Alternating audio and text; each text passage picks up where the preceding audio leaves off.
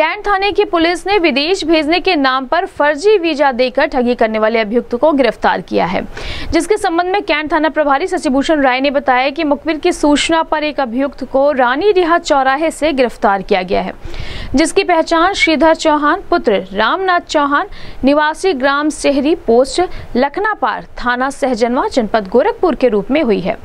Cantt थाना प्रभारी ने बताया कि 15 फरवरी को वादी मुकदमा के द्वारा सूचना दी गई कि मदन मोहन मालवीय इंजीनियरिंग कॉलेज के पास विदेश भेजने वाले स्काई लाइन ऑफ़िस के संचालक श्रीधर चौहान, विशाल मिश्रा तथा अन्य लोग व उसके मकान मालिक के विरुद्ध वादी मुकदमा व उनके अन्य तीस साथियों से विदेश भेजने के नाम पर जालसाजी व धोखाधड़ी कर कूट रचित फर्जी वीज़ा बनाकर दिया, जिसके एवज में सभी लोगों से तीस तीस हज़ार रुपए नौ लाख साठ हज़ार रुपए ऑनलाइन पेमेंट व नगद माध्यम से हड़पने के संबंध में थाना कैंट पर मुकदमा पंजीकृत कराया गया।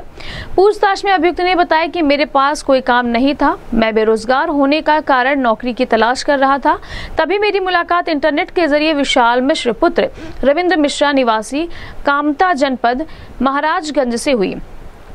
तब विशाल मिश्रा ने मुझे फ़ोन किया कि हम लोग मिलकर लोगों को विदेशों में नौकरी दिलाने के नाम पर रुपए लेंगे और रुपए लेने के बाद फर्जी टिकट व वीज़ा देंगे। विशाल मुझसे कहा कि तुम ऑफ़िस में बैठना और मैं दुबई में अच्छे अच्छे कंपनियों का ऑफ़र दूँगा तथा उसके बाद तुम लोगों को बताते रहना कि कंपनी में अच्छी सैलरी है, लोगों को झांसे में लेकर उनसे रुपए हड़प लेना और जो भी कमाई होगी हम लोग आपस में बराबर बराबर बांट लेंगे।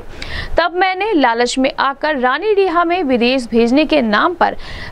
skyline test and training centre से एक सेंटर खोला। मैंने विदेश भेजने के नाम पर करीब 30 से 40 लोगों को फर्जी टिकट व वीज़ा देकर हर व्यक्ति से तीस हज़ार रुपए हड़प लिए और विशाल के हिस्से का रुपया उसे देकर मैं स्काई लाइन ट्रेनिंग सेंटर को बंद कर दिया था उन्होंने बताया कि अभियुक्त को गिरफ़्तार कर जेल भेज दिया गया है गिरफ़्तार करने वाली पुलिस टीम में कैंट थाना प्रभारी शशिभूषण राय उप निरीक्षक अमित चौधरी, अवनीश पांडे, कांस्टेबल विनोद कुमार शामिल रहे.